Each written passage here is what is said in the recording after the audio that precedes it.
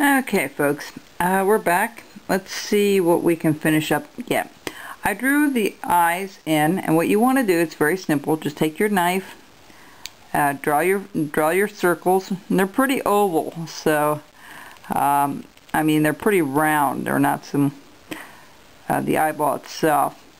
Just do a stop cut, go on the inside, cut it out. Let's see here if I can do this again. Uh, let's try this again. Like I said, it's hard to see it once you make that wood wet. It, it swells and you won't be able to see your cuts as well.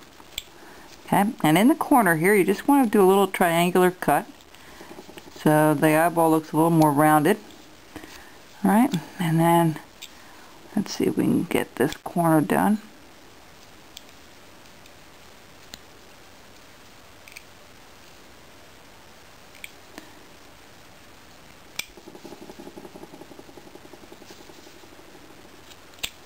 Okay, and then you're going to sweep out the bottom portion just to clean it up a little bit. Okay, so that's how the eye is put in. And then you go ahead and do the other eye the same way. Put a stop cut in.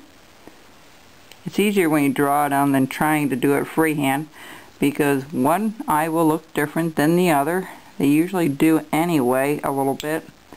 You have a little, that snapping that you hear, it's just my blade here. Okay.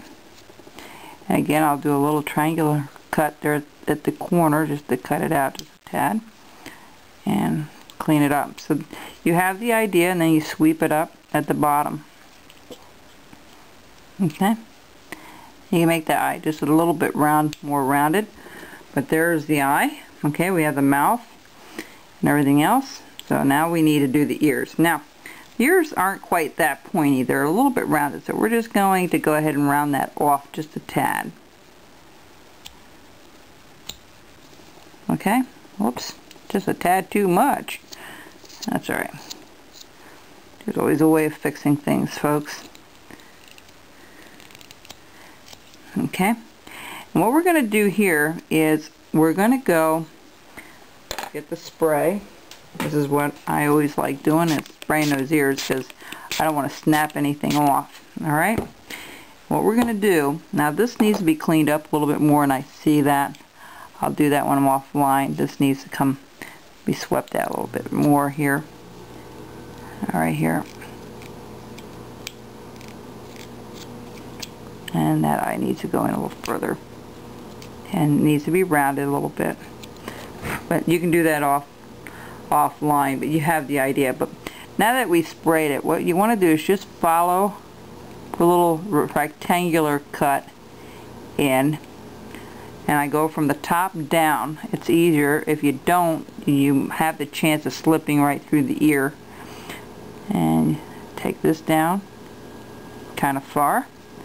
Just like a little cut. Okay? That's all that's to that. And if you want it a little bit bigger you can. And what I usually do is go a little bit further into the into the head. Alright see how that ear is? That's exactly what we want. And then we're going to trim this off a little bit more here. The ear is a little bit too thick for me. I hear shooting outside. I don't know why that's happening. I guess uh, Somebody's practicing. Here, we have a gun club not too far from us. Not too far from me, my home anyway. Alright, there we go.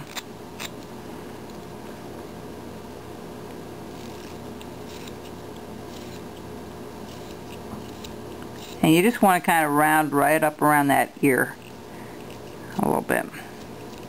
Alright, I'm going to do the other ear while I'm off, off camera. And the other thing we need to do real quick is we need to put a little a little collar on this little guy.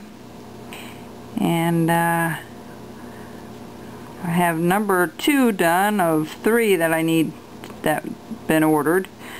Um, I'll take my big knife and I'll just I follow my knife around. See how nice and straight it can be if you do it this way than using the tip of the knife.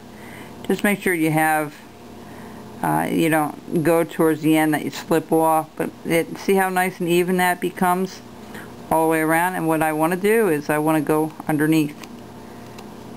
Just bring it up. And if it's not deep enough I go back and do another I follow that line again.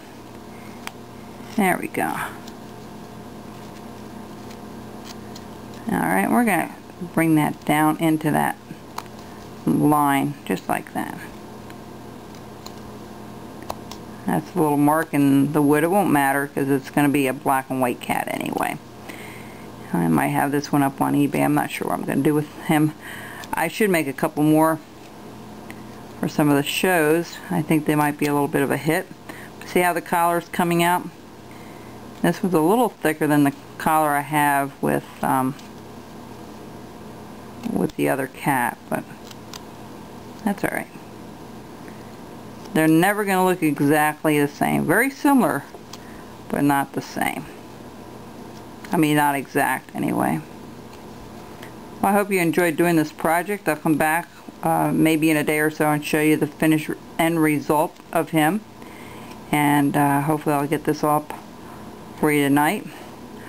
Oh, the one other thing we want to do is we want to just kind of tone down that that um, that little bit of his nose there.